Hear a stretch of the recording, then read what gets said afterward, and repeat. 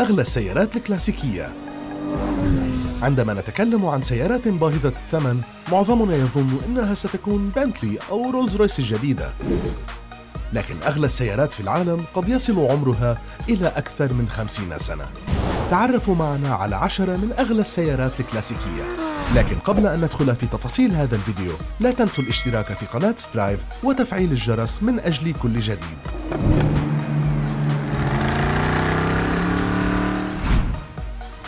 عشرة. جاكوار سي تايب ووركس لايت ويت 1953 إنها واحدة فقط من ثلاثة سيارات تم بناؤها وهي قطعة مهمة من تاريخ جاكوار الرياضي. فهندسة جاكوار الثورية المعتمدة في هذه السيارة؟ مكنتها من حصد الانتصارات في سباق لمان وأرعبت الفرق الأخرى المنافسة. وقد بيعت هذه السيارة بمبلغ 13.2 مليون دولار في مزاد ار ام سوثبيز مونتري تسعة. شيلبي كوبرا 260 1962 بلغت قيمتها 13.75 مليون دولار. بعد أن اعتزل كارول شيلبي السباقات قرر بناء سيارة سباق خاصة به. فكانت هذه الشلبي أول كوبرا يبنيها أي أنها السيارة التي أطلقت أسطورة كارول شلبي والكوبرا الأمريكية. وضع بداخلها محرك من ثمان أسطوانات بقدرة 260 حصانا يمنحها تسارعا من صفر إلى 100 خلال 4.5 ثواني. رقم مبهر حتى يومنا هذا.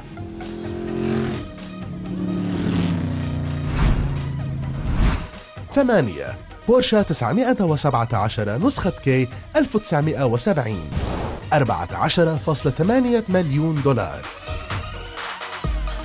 تعتبر 917 أكثر سيارة سباق تنافسية أنتجتها بورشا لكن هذه السيارة بالذات لديها قصتها الخاصة. فقد بدأت مسيرتها كسيارة تجارب لسباق لمان الشهير. ومن ثم انتقلت إلى سائق بورش جو سيفرد الذي أعارها لستيف ماكوين لإنتاج فيلم لمان وبالنسبة لجو سيفورد فقد كانت هذه السيارة مهمة لدرجة إن عند وفاته كانت هذه البورشة على رأس موكب الجنازة.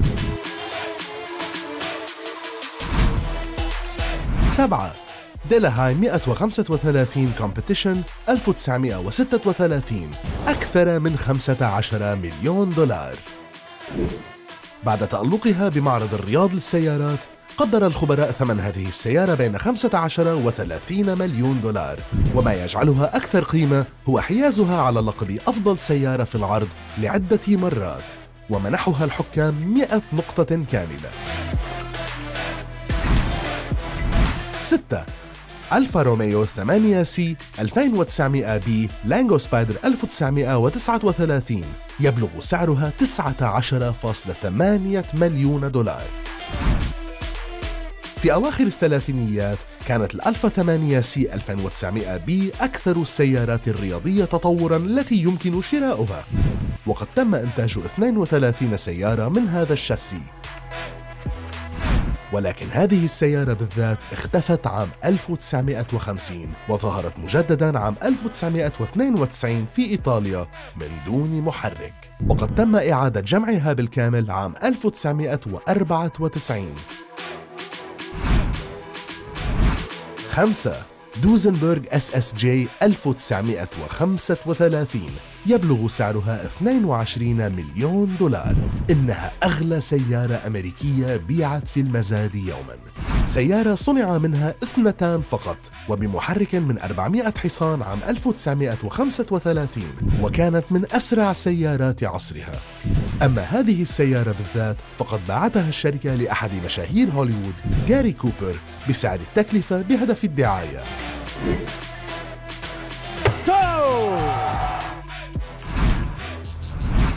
أربعة. أستون مارتن DBR 1 1956 22.55 مليون دولار. وهي أغلى سيارة بريطانية. قد تكون أهم أستون مارتن أنتجتها يوماً. فعدا عن الانتصارات التي حققتها هذه السيارة في عالم السباقات لدينا أيضا لائحة من أساطير سائقي السباق التي قادوا هذه السيارة. ككارول شيلبي وجاك برابهام و Sir ستيرلينغ موس.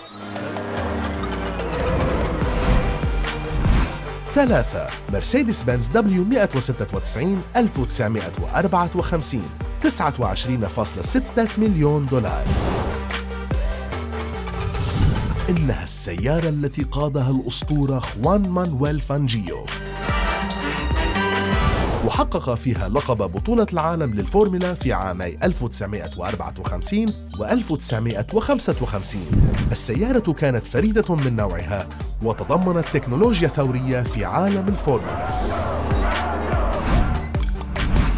اثنين فراري 335 S 1957 تبلغ قيمتها 35.6 مليون دولار. إنها واحدة من أساطير فيراري على هذه اللائحة. وكما هو الحال مع أغلب السيارات الموجودة هنا فتاريخها حافل بالانتصارات والسباقات. فيراري 335 اس بنيت عام 1957 وشاركت في سباقات شهيرة مثل ميلا ميليا وسباقات أخرى. أما بالنسبة لإدائها فهي مزودة بمحرك من 12 أسطوانة بقوة 400 حصان وسرعة قصوى تبلغ 300 كم بالساعة. واحد فيراري 250 جي تي أو 1962 48.4 مليون دولار. وأخيرا السيارة الأغلى بين الجميع. فسعرها البالغ 48.4 مليون دولار سيبقيها لفترة طويلة. أغلى سيارة بيعت في مزاد علني وبفارق كبير أيضا. ولهذه السيارة بالذات تاريخ حافل بالسباقات والإنجازات فهي شاركت في ما لا يقل عن عشرين سباق من دون تسجيل أي حادث. وما زالت تحتوي على قطعها الأصلية. وإن كان ممكن تخطي هذا المبلغ مستقبليا فعلى الأرجح سيكون من قبل 250 جي تي أو أخرى.